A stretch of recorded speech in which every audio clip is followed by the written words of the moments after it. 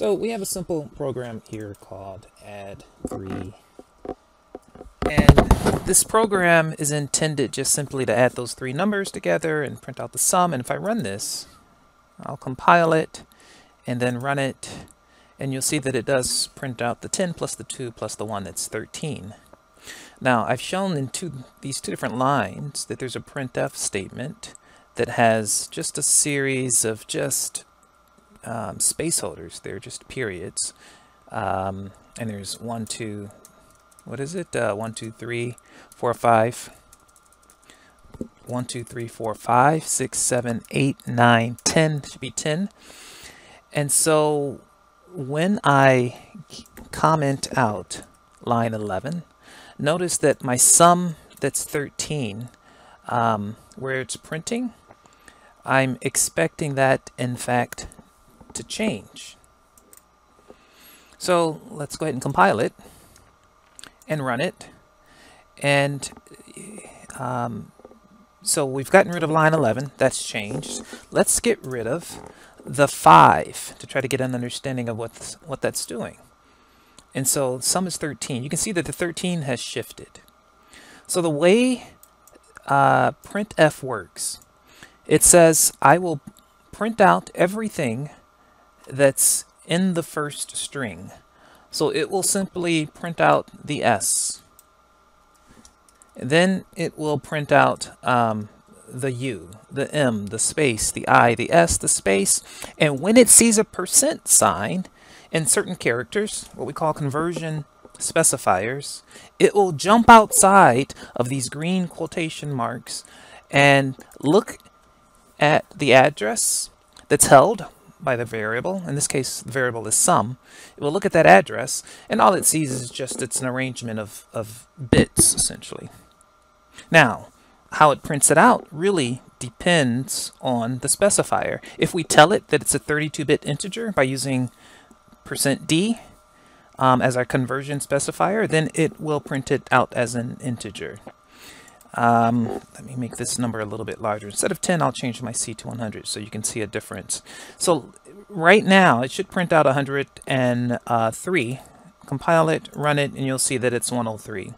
But if I tell it, print out the SUM uh, space IS, and then jump out and uh, uh, print out sum. But if I tell it it's actually a character, since characters are stored as integers, it's going to try to print this out as, well, the character, the ASCII value um, of 103 is actually the letter G.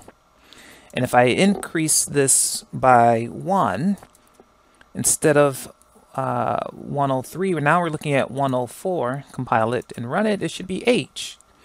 So it will interpret that stream of bits um, based on the conversion specifier. So it works well with characters and integers switching back and forth, but it works less well if you have a floating point number because those are packaged in very specific ways. You can't just tell it to print it out as a floating point number um, because the variable type was specified as an integer. So in this case, we get a warning, but it will still run right? And it'll give us some bogus information. So the sum is certainly not zero, but that's because it doesn't know how to decode what is stored as an integer. It doesn't know how to decode that and interpret it as a floating point number. It wasn't encoded as a floating point number. So you have to be careful with that. Just because you tell it it's a percent %f that needs to be printed out or a double, the type has to match the conversion specifier. And we get a warning, but it still will go forward. So that part, that's important. Make sure your conversion type and your variable type match. Now, the second thing is, um, let's turn this back into an integer. Let's compile it, get rid of that error. Let's run it. We get our 104. But if for some reason we need to have um, this 104 maybe fitting a particular space, right? So if I just do nothing and look at this, notice that my 1 is lined up right after the space. So my 1 and my 104 is lined up right after my space. But if I want to shift this maybe two spaces to the right for alignment purposes. When I do this, you should see, um, let's make sure this is working, compile, run. It says, well, it, it doesn't shift it, but it, try, it what you're asking it to do is to use a certain number of character spaces for your output. So since it's three, we've asked it to use two, so that's, but here's, if I tell it to use four, it's going to use four character spaces and then shift it just one to the right. If I tell it to use five character spaces, it will go ahead and print it out and shift it two to the right.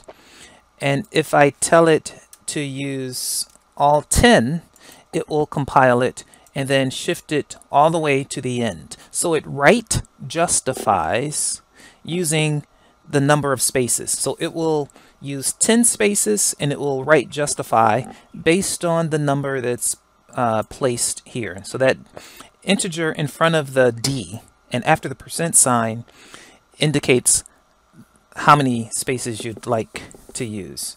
And that's helpful if you have multiple numbers and you want them all right justified and aligned in a certain way.